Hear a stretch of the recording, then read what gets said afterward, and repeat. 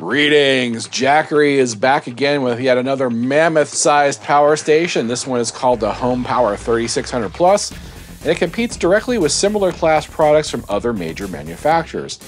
They've been a bit late to the game coming out with full-sized home backup models, but have evidently been playing a very fast game of catch-up. They claim this 3600 watt beastie is smaller and lighter than the competition, but is it any good? Let's find out. This model packs a 3584 watt hour LFP battery rated 6000 cycles to 70% capacity when charged at their suggested standard speed. As for size and weight, it comes in at a very compact 19 by 15 by 12 inches approximately and weighs in at a tidy 77 pounds, which to my knowledge is in fact significantly less than other similar sized competitors. It sports the standard Jackery color LCD that shows all the basics such as input output watts, time to charge discharge, battery percent with icon, for a total of 22 pieces of information. Modern Jackery screens are always high quality and easy to read in all kinds of light. As for the inverter, the 3600 Plus packs a big surprise here 3600 watt pure sine inverter with 7200 watt surge through four 20 amp outlets, and a TT30R 30 amp appliance or RV hookup. Unlike most other models, this can actually output the full 30 amps continuous to your RV, welder, or other high powered appliance. As for ways to charge, you can of course charge via AC grid or generator at up to 15 amps or 1680 watts with the included cable. And that takes about two hours at max speed or two and a half hours on standard. It does sport a 1000 watt MPPT controller on the side Good for a 0 to 100 charge in about 4 hours under ideal conditions. Fortunately, it is not XT60 connectors like its bigger brother, the 5000 Plus, but instead uses a pair of Jackery standard proprietary 8020 barrel plugs in parallel. You can also dual solar and AC charge in about 2 hours. Note the only cable that comes with the home power is the standard 15 amp AC charging cable. There's no 12 volt charging or solar adapters included. As for 12 volt outputs, there are zero, zilch, zip, nada. Not even any kind of pricey add on accessories like some other competitors. Yanking the 12 volt support seems to be a growing trend, especially for these larger home backup style models that oddly still tote wheels and a luggage style handle with 30 amp hookups, so you'd expect they might also pull double duty for camping as well. Except if you have a 12 volt fridge or other 12 volt appliance, which most campers do, you're simply SOL with the 3600 Plus. As for USB, the 3600 does offer well-rounded USB support with a standard 100 watt USB-C power delivery outputs with two of those, along with a pair of QC USB-A outputs. No 5 volt dinosaur ports here. As for other features, the 3600 Plus can be paralleled together with another 3600 Plus for 240 volt output, and while at the same time taking up to 21 kilowatt hours of external batteries through the external battery port on the side. So it is quite scalable for home backup use. It also offers a UPS mode that had an unpublished switchover time in the manual when I was doing my initial testing, but since the web page went live the next day, it now states it has a 10 millisecond backup UPS switchover, which is consumer grade and quick enough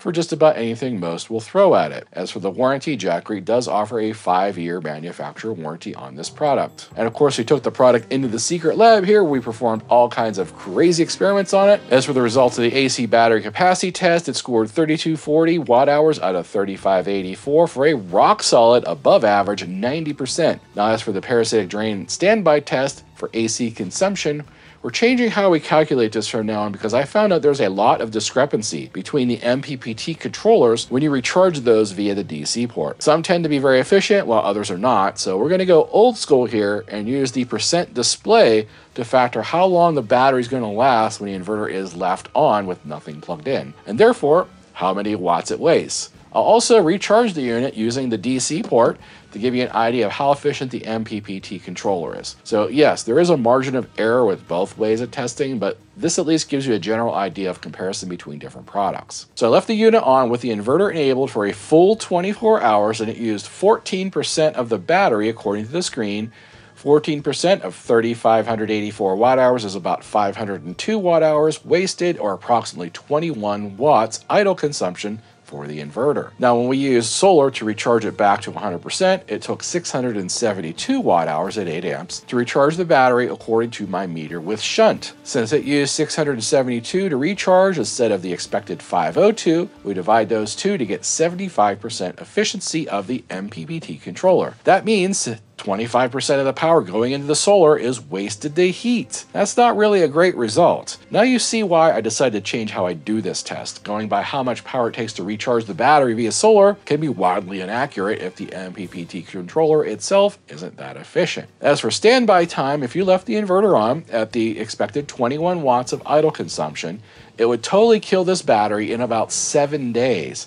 Now that's excellent for a one-to-one battery to inverter ratio, meaning this has a 3600 watt battery with a 3600 watt inverter. Now I'm always asked how long stuff's going to run on these kind of products, so compensating for usable capacity, you can pause this chart I'm to put up here on screen. It's going to tell you approximately how long common appliances will run on this particular unit. Results with a pure sine wave check under load was 119 volts, 60 hertz, that's a pass. Inverter capacity test under max load was 5100 watts or 42 amps for about 5 seconds. That was a pass. The cooling ability heat soak test, we ran it for 5 minutes at 3600 watts. Nothing out of the ordinary here. Everything works and sounds just fine. It hasn't got any louder, no funny smells. All good. Inverter fan noise at max decibels was 55 decibels at max but it was significantly quieter under smaller loads. I think most of the time you're probably not going to hear this thing running. As for the 15 amp saw test, 5000 BTU AC test, and solar degenerator test, I decided just to run all three at the same time to see if this thing can handle it. I got the 5000 BTU plugged in right here. I got the heat gun up all the way. We're currently pulling 1700 watts. Let's see if this 15 amp saw will trip it or not.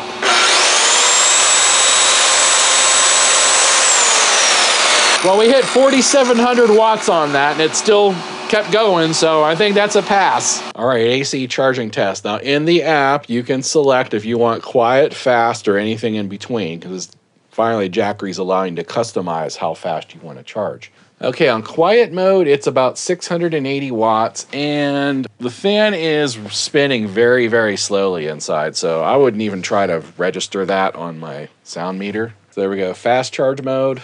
Now you can see there it's about 1680. So 43 decibels.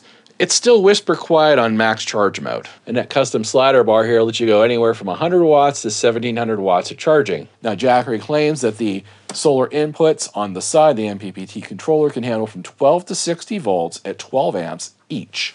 As tested, the DC charge rate 12 volts, we are able to pull 95 watts. At 24 volts, 400 watts. At 48 volts, 930 watts.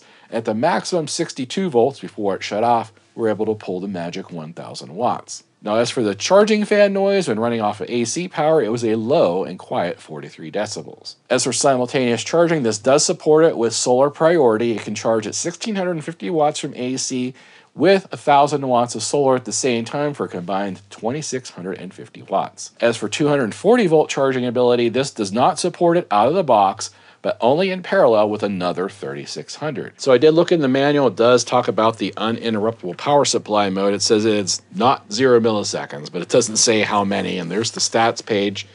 Doesn't say anything on there about it either, but it says it's not zero milliseconds. That's a big help. Let's go ahead and do this test. You can see I'm running a full screen music video from YouTube in 1080p. It's using about 100 watts of power. The battery is charging from grid power while we're doing this. So all I'm going to do is just yank the cord out and we'll see what happens. I didn't bother with the switch box today. Three, two, one. It's fine. It's still powering the load. Battery's not charging. Let's plug it back in, see what happens. I hear a click. Still powering the load, and it's charging the battery. So no freezing, no problems with the computer. That's a thumbs up. USB output rate check. We have the two 100 watt USB C power delivery outputs. Those pass no problem. Musician's favorite amp interference test is where we determine is the inverter clean or dirty? Is it good enough to run a power amp or ham radio or something without causing static or interference coming out of the speakers? Because some inverters are not clean. Usually the higher end products, higher end inverters always pass this test. It's usually the cheaper products that don't. But let's find out. Sounds perfectly clean. Now the fan did kick on on this and it was pretty loud and it covered that up. But I can tell sitting right in front of it perfectly clean, so that's a pass. Now the electromagnetic interference test or EMF test with Wi-Fi and Bluetooth enabled because we can't turn those off internally. For DC, it was basically baseline, which is low. The AC inverter scored 80, which is high, but not out of question. As for the extra battery test, Jackery didn't supply an extra battery, so I couldn't test any of that. And if you want to know what the app looks like, check this out input output watts. You can scroll down. This is how you adjust the screen. You can either have it off, turn time out after two minutes, or time on after two hours. This is where you change your charging settings and your UPS settings, uh, your auto off times for the different inverter and DC modes. And below this is the firmware update. That's literally all there is to it. And there you have it. All results fell within expectations. There was nothing out of the ordinary. So what do I think about the Home Power 3600 Plus? Now, for the record, this Jackery works perfectly fine and it passed all tests with flying colors. But I still have gripes. First of which is the total lack of 12 volt support. They're basically saying, look how small and light we are. We got wheels and a handle and a 30 amp RV output. You can take us anywhere, just don't take us camping. Except they show a photo of the product on their webpage with folks using it camping. Now, when the brand removes the handle on the wheels and makes them over 100 pounds, I could see yanking the 12 volt socket because most folks aren't taking their actual home backup unit camping or powering 12 volt fridges at home. But something 77 pounds of wheels, a pull handle, bragging on their website about portability, but then totally cripple the number one outdoor use, seems a bit out of touch for a brand that used to plaster power outdoors in large orange font across the front of every one of their products. Next up, everyone else is offering 240 volts in a single unit for their home backup models. How could you call your product home power and 2025 and only support 120 volts out of a 3600 watt power station. Yeah, you can buy two of these with the parallel cable box for an outrageous sum and jack into it a transfer switch to run your home. But why would you when the competition offers 240 volts right out of the box for less than half the price? Granted, this Home Power 3600 is fantastically portable and quite powerful for running 120 volt appliances, assuming you plan to roll it around your home using extension cords to every appliance when the power goes out.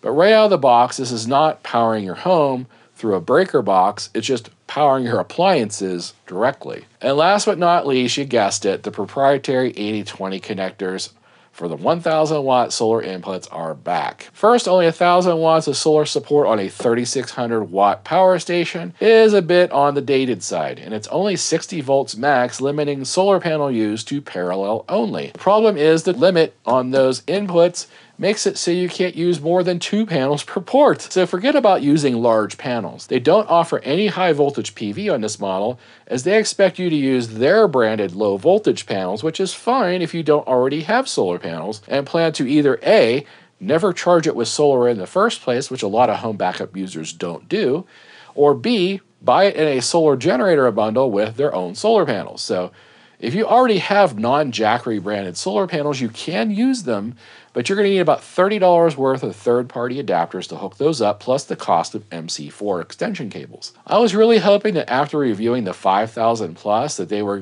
going to sunset this aged-out barrel plug design, but it seems like they're doubling down on it. Now, I'm going to continue to complain about this until they change it like literally every other major brand has over the past few years. There's nothing wrong with XT60 ports or Anderson Power Pole. They don't offer it because they don't want to make it easy for you to use third party panels. Now, it's not all doom and gloom as I said initially, this is a great product and it passed every test with flying colors. And I do believe it is the smallest and lightest 3600 watt hour power station available today. And that's kind of a big deal if you do plan on using this thing outside of your home kitchen during a blackout because most of these home backup style power stations are simply too large and heavy to load into a vehicle without two people. The standby time of 7 days and 21 watts of idle consumption for this inverter is also fantastic. A 3600 watt inverter with 3.6 kilowatt hours of battery, all available from a 30 amp output, is a lot of power from a 77 pound box on wheels. And probably the best part is that this is not priced like the typical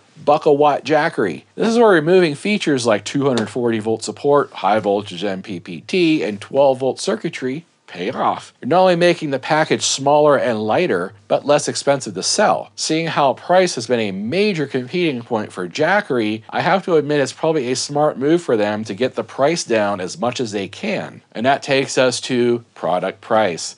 The standard sale price for the Home Power 3600 is $27.99, and that in itself is a pretty good deal for a new Jackery at 77 cents per watt. However, there is a link to a special offer available in the description of this video that will knock that price all the way down to $21.99 or 61 cents per watt hour. So be sure to check that out. Note that the 30% federal tax credit for battery storage products is supposed to end this year, and this one being over 3 kilowatt hours would qualify you for that credit if you hook it into your home. That in essence will bring the price down into the mid $1,500 range, so that's kind of hard to beat. So if you need a break on your taxes, and who doesn't, this might fit the bill. Get it? Okay, never mind. If you're interested, the link and discount code is going to be in the description of this video below. I'm also going to put a link here at the bottom of the screen along with a QR code you can scan on your mobile device if you're watching me on TV. That'll take you on over to the Jackery store page where you can check out the Home Power 3600 Plus. Thanks for watching, and until next time. Odin commands you to like and subscribe, and clean my litter box.